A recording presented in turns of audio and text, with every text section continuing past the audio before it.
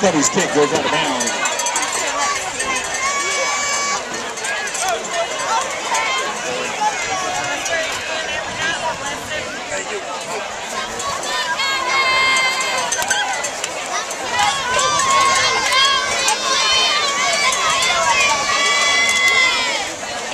Comets take over the first round of the 35 yard line.